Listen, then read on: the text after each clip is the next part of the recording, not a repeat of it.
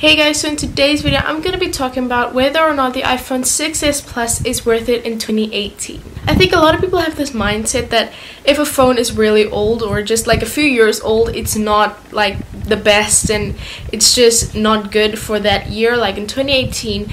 But there are still older phones that are still really great and that still perform really well. So that's what I'm going to be talking about in today's video. So without further ado, let's get into it. Okay, so this is the iPhone 6s Plus and it's been three years since it has been launched. So let's see how it holds up in 2018. So it was launched in 2015 and when they launched it, it came out with a 16 gigabyte and a 64 gigabyte. This is the 64 gigabyte, so there's no problem with storage. Then they refreshed the lineup in 2017 to a 32 gigabyte and 128 gigabyte and also reduced the price. But okay, let's look at some of the specs. So this has a 5.5 inch retina display with 1080 by 1920 pixels. It has an Apple A9 CPU, which is still way faster than a lot of phones of 2017. It has 2 gigs of RAM and it has an a 2750 milliamp hour battery so the battery life will get you through the day and it should not be a problem with a plus you can also get battery replacements now for a lot less at Apple, so that alone makes it a really great phone. Okay, so now for the camera, it has a 12 megapixel camera on the back and it has a 5 megapixel front facing camera. Here are some photos that I just took with the camera, just some normal outdoor shots. This is not top photography, but it's just normal photos that you could take day to day and it can take up to 4k video with 30 frames per second.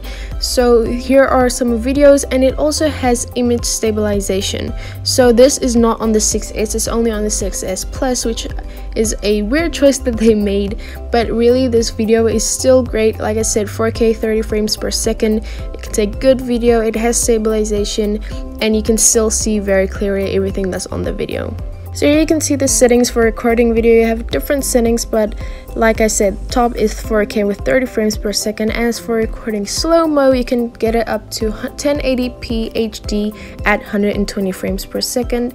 It also has live photo, so basically you just long press or 3D touch the photo and it's just a photo with a second before you took the photo and after. You can also just take photos by pressing on the volume rockers if that is something you prefer. Okay, so moving on from the camera, now let's look at some of the hardware. So first thing you'll see here is the volume rocker, so for volume up or volume down, and you'll see the sound switch to completely mute all the volume. That's really something that I really like. You have the home button and you have the antenna bands. This is really something that I use to see what phone people have since the only the 6S and the 6s have the antenna bands and the 6S has the S badge underneath the iPhone. So then you'll see the power switch and the SIM card slot and underneath you have a speaker, you have your charging port and you have a headphone jack. The 6S Plus also has the second generation Touch ID, which is faster than the first generation. And here you can see some of the capacities, like the amount of storage and just going through some apps. You can see it's really fast no problem.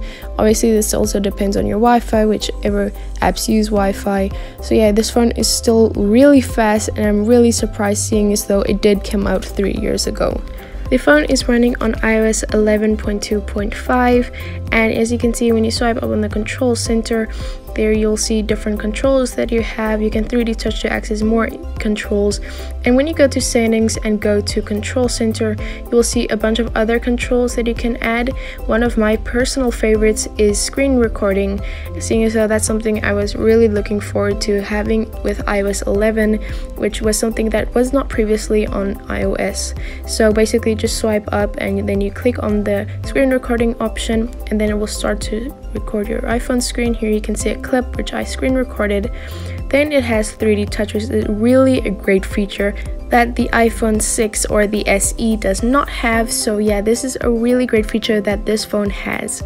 So moving on, this phone can play games. It's really great for gaming. It does not buffer or anything. It plays games without any problem. Here you can just see a clip of a game that I just played. This is not the like heaviest duty game that you have on iOS. So yeah, this is just a normal game that you can play from day to day. So yeah, this is just an example for gaming. Here you can see the iPhone 6s Plus with my iPhone 8 Plus. They're design wise not very different. Obviously, the antenna bands are not there and it has a glass back on the iPhone 8 Plus and underneath the headphone jack is removed. So yeah, if that's a big deal for you, well, obviously this will be a deal breaker. But yeah, design wise, these things are still very similar and obviously the iPhone 8 Plus has the dual camera. But yeah, again, design wise, these are really similar. But yeah, so those are the biggest things about the iPhone 6s Plus. Now let's move on to my personal opinion.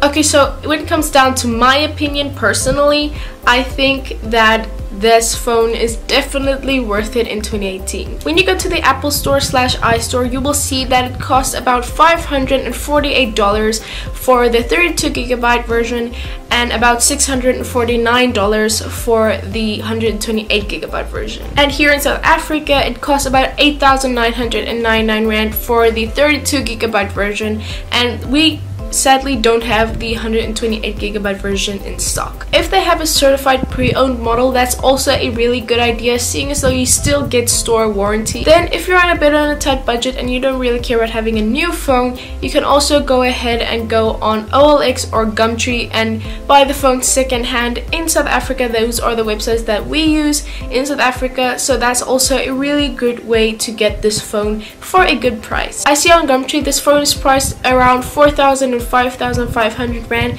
and you can still negotiate on the price so you can really get a good price for this phone. Just remember the golden rule of meeting the person face to face when getting something secondhand online. Then once you've bought the phone, you can go ahead and go to the Apple store and you can replace the battery seeing as the battery prices have gone down way much and then you can have a good phone with a new battery and you're really gonna have this phone for a long time. If you want a 5000 Rand phone with a new battery, this is a great phone. I think this is really worth it to check out and this is one of the best phones that you will get in that price bracket. If you are looking into trying out the Apple ecosystem and you want to get into the Apple ecosystem, this is also a great seeing as though you get a good quality phone for a good price. If you can get the 6S for this pricing, I would not recommend going for the iPhone 6 or the iPhone SE, seeing as though the 6S is just much better than both those phones. I really just recommend the iPhone 6S Plus more, even more than the iPhone 6S,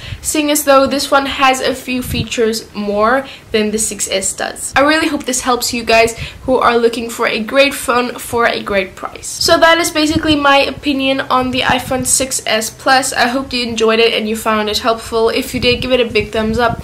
Comment down below what are your thoughts on the iPhone 6s Plus and if you think it's worth it in 2018. Let me know any other videos you'd like to see from me in 2018. If it's videos like this and different phones you want me to do, I will definitely try to do those. And yeah, definitely subscribe by clicking on the icon down here. Click up here to see all my other tech videos and click down here to see my previously uploaded video. Love you guys so much. Be weird and be proud of it. Bye.